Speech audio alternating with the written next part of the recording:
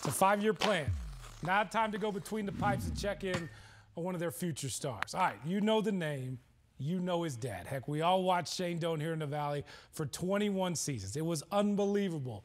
But now it's time for his son to carry on the family name. Exactly one month ago, Josh Doan decided to leave college at ASU and turn pro. Yeah, the former Sun Devil captain has been thrown into the fire down in Tucson with the Coyotes minor league team, the youngest guy on the roster, and he is the same line, on the same line, I should say, with the 37-year-old captain down with the Roadrunners. And in tonight's Sunday Showcase, the Tucson Roadrunners are giving you an all-access pass to go behind the scenes with young Doaner to see what life is like in the pros. Solid that I got a mic on instead of YouTube. Keep it off of YouTube forever. Big day for ASU, Jon Rahm winning. Should we get some better looking guys in this corner? and there's such a good culture here and, and a good group of guys that want to help and, and want to win and, and want to help you as a person and a player, which is which is super important to have around. And Get to work out with Dougie too. yeah, you picked the wrong guy to film. Why did you feel it was so important to make the move and go pro now? Yeah, I, obviously it was, it was something my family and I discussed for a while, and we didn't want to make the jump too early because it's a big decision to, to leave to leave school and to, and to join pro hockey. But with where the team was at and, and, the people that are in charge here, it's, it's an organization that you can trust that they're going to do what's best for you. It was a decision that my family made that we felt ready that this was the time to do it. And, and especially with an opportunity to play playoff games adds, adds a whole lot of experience. You got to show up daily, through good times, through hard times.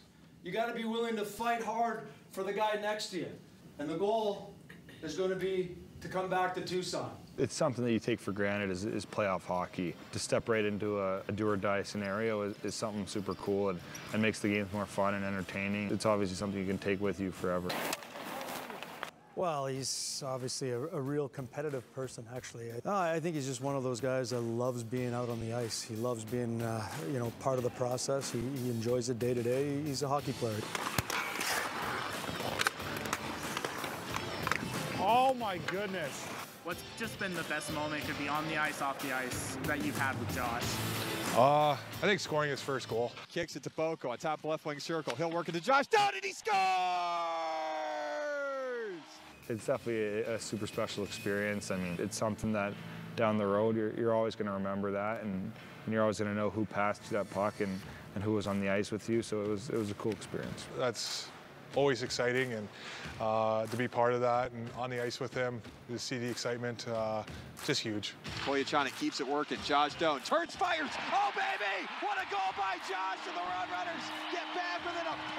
Have there been any like kind of like you know, rookie type traditions you've had Josh do, like you make him go on a coffee run for the guys, anything like that? No, no, no. uh, uh, I mean, we, we had our uh, little rookie get together and they sang some songs, told a joke. Oh, it's a lot of fun, just laughs and just having a good time. There's, there's the little things that, that are pretty common everywhere, and picking up pucks or, or cleaning up the bus. There, there hasn't been, been a coffee run yet, and maybe, maybe come playoff times when we're on the road, there'll, there'll be one or something like that. But now you speak of it, I should go get a coffee and I'll make him get it.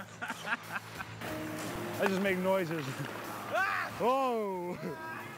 There's no one out there who's even close to him yet, so we're just trying to keep up with him. With the 37th overall selection in the 2021 NHL Draft, the Arizona Coyotes have selected Josh Doan. I'll, I'll enjoy adding some of my own pieces and hopefully bring bring something different to Arizona. Does everyone call him Doaner? Yes. Yeah, it is. They do, and it's actually a little confusing when we're both in the same room. Usually he turns. I've been used to kind of just waiting. Hockey's pretty basic when it comes to nicknames. It's either a Y or an ER at the end of your name. And a save by Geilander. He cleans it up and scores.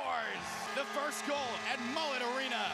Doan makes it 1 nothing. Personally, it's, it's something I take a lot of pride in, in, in being from Arizona and, and representing the state of Arizona hockey-wise because there, there's so many people here that have pushed so hard to, to, help me grow and develop and, and to get to this point. And then now be in Tucson, which is which is a place that I never played hockey in, until now. So it's it's just another place in Arizona that, that you kind of check off the off the list with with that being playing in in Scottsdale and Tempe and Flagstaff a couple times and now in Tucson. It's you almost hit every rink in, in Arizona and it's it's something that you got to just keep moving on with hopefully at the end of the day it, it, it, finishes with the Coyotes and, and comes full circle all the way around and I'll complete the, the checklist of all the teams in Arizona that you can play for.